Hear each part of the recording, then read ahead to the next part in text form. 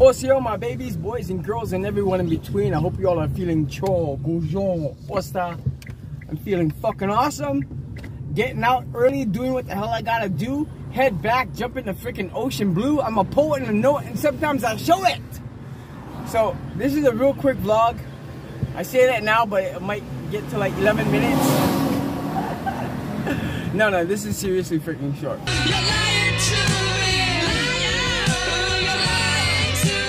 I want to touch back on two things. I left you guys hanging uh, when I told you that in the that the, the freaking sex vlog that there was a time when I couldn't get it up. And I guess this is a good time to let you know that this vlog is age restricted. I think it was like in the early 2000s, but what it was is I was chasing this freaking guy and I don't chase guys. I don't I don't chase anyone. You know what I mean? If they come to me, they come to me. If we meet up halfway, freaking awesome. But I don't go chasing anybody for nothing. So there was this guy though, man. Like he was so fucking delicious. I ate his liver with some fava beans and a nice Chianti. I kept hitting him up like, yo, let me take care of you, baby. Like, let me let, let me do what the hell I freaking do, yo. Open up your hairy legs, watch out, here I come.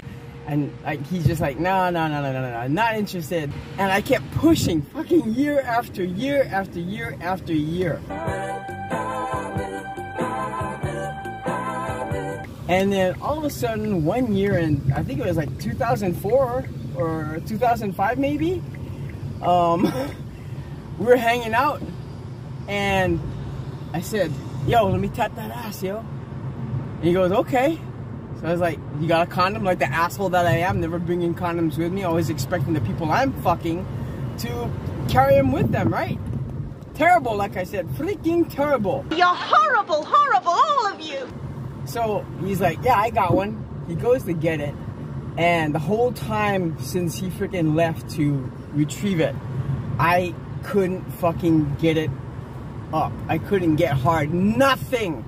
Nothing. Like there was like a severe freaking mental block. All that talk about impotence, it got to me. You know? I was like, what the hell? He's like, you want me to fluff you? I said, you know what? I would love that, but I knew regardless of him fluffing me, it wouldn't fucking work. And um, that's the one that got away. That's the one that got away. I mean, like we're still friends, you know what I mean? Like we, you know, like we're still in contact and stuff. But that moment came and went. So are you coming or going? Or coming and then going? Or coming and staying? So the second thing that I wanted to talk about was uh, a long, long time ago when I first started vlogging. Within that first year, I did a vlog called My Anger. I want to talk about this just because I've only recently discussed this with my therapist, and I like to freaking dive into those fucking dark corners of my psyche and scrape the shit. Damn shit! Look at this shit! In those corners that refuse to be freaking mended, refuse to be healed, right? I don't want to be that fucking inept Kainoa. I just want to be this Kainoa who is just all about love and support and positivity and motivation. You know what I mean? I want, I want, that's what I want to fucking be. The old me. He don't live here no more. That old angry fucking sour bitch. He ain't here no more. This is part of the Kainoa that you guys don't even freaking know, yo. So, anyways, I was court ordered to go to anger management. Why? Well, let me refresh you. Shortly after I moved to Cali, and this is Chino, I was still underage. I was still 17 years old, and my uncle he uh, he took care of me. You know what I mean? Like he he said, yeah, come come stay with me, uh, go to school, get a job, whatever the hell it is, but get yourself square. And I was like, okay, cool. I met this guy. We became good friends, and then uh, I made friends with his friends. And they tell two friends, and they tell their friends, and so on, and so on, and so on.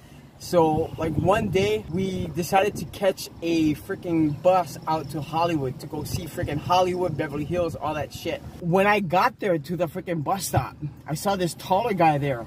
And remind you, at this time, this was before the motorcycle accident, so I was like fucking five foot six. I was a short fucking dude, man. So this guy just started blasting me with these insults, man, like they were unwarranted. I didn't do shit to this guy. I Never fucking saw this guy before my freaking life, right? I freaking did a lunging punch square into his face. and I'm not, I don't know why I'm laughing.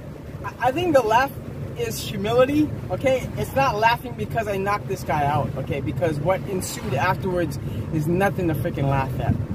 Once he was knocked out, his cousin, my friend who I was friends with before, and his friends, And they tell two friends, and they tell their friends, and so on, and so on, and so on. they fucking bolted because there was like no like there was no talking to me. There's no getting through to me.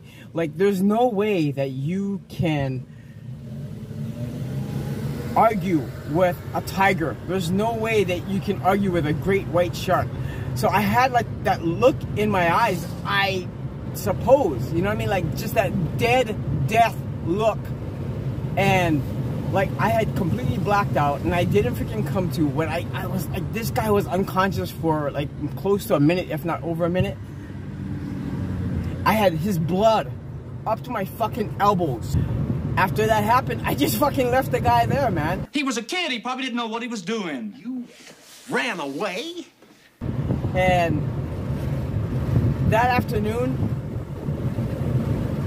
the cops came to my uncle's door and my uncle never ever heard this guy raise his voice to me in my freaking entire life. Hello!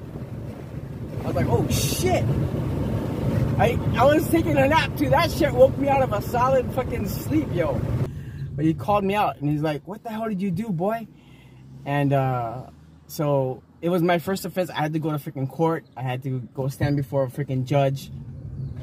And uh, they court ordered me for half a fucking year of anger management.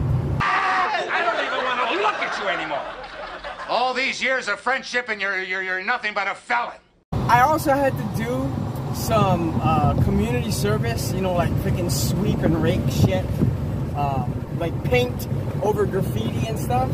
So I did that. And then there came a point where I started like realizing that, you know, there's nothing that anger management can teach you that you can't teach yourself. Okay, but you have to be open and willing to listen to yourself. You know what I mean? So I went up to my counselor just before it started, and I was like, um, "Hey, I just want to let you know, like, I've kind of made a breakthrough." He's like, "Talk to me about it." And we were standing on the outside, you know, before it started, and uh, he's like, "Share with me." I said, "I realize that I don't have an anger problem." He's like, "Huh?" I said, "I have a people problem." And he thought that I was joking with him. He's like, "No." He said, "You're court ordered, man." And he's like, "If I see fit, I can freaking give you more freaking, you know, time," which he did. I, I was in anger management for over a freaking year, right? I, I mean, just for up to a freaking year, and extended to over a year because what happened was when I moved from freaking Chino to LA, the the court caught up with me, and they're like, "Hey, you didn't tell us that you were moving." I'm like, "Oh yeah, I'm over here." I gave them my freaking address. So they ended up coming to my apartment. Of course, you know they're not gonna call you and say, "Hey, we're coming over, clean up and hide your freaking crap," right? Not that I had anything to hide, but All right, you go ahead. You go ahead. You keep it secret. what happened was like two or three weeks previous to them popping in i had gone to uh, sacramento because they had a gun show there and i i just love going to gun shows okay like i'm, I'm not really like into guns and stuff understand what you just said?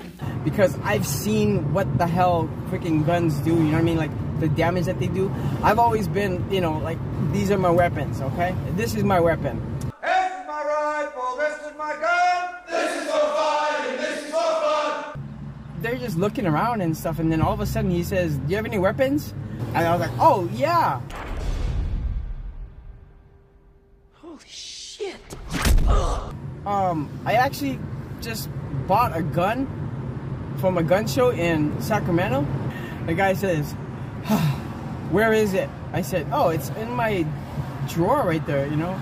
He goes in there and he freaking opens it up. He grabs a gun. I never loaded it. It was still inside of its wooden case with a beautiful, like, indigo velour, crushed velour.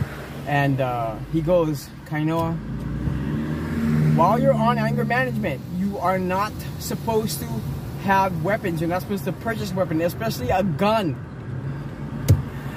I said, I didn't buy the gun to go and actively hurt someone. I said, I live in LA now. I said, That'll never, I say that'll never. Man, fucking LA is crazy. Like, you go back to fucking LA in the fucking late 80s and the, into the freaking 90s. It was fucking mayhem. I mean, it's mayhem now with Skid Row and everything. So, because of that, I had extended court ordered anger management and I also had to do more community service because it was an offense. That's it. That's all I wanted to like touch base with you all on is just, you know, these bits of loose ends. So, as always, I want to thank you all so very much for the continued love and support to my vlog, my YouTube channel, with the likes, the comments, the shares, the subscriptions, the interactions, and the Patreon pledges. I greatly appreciate it. Uh, for those of you who do not know that I am actually giving away one of five signed limited edition photo prints, go check out the details in the description, the information, and the rules. Take it! It's yours! Thank you all so very much. I hear eh wado. Take care, much love. Shitana Nanda. Until I see you all again, Donald Dog, Ohai. Peace, babies.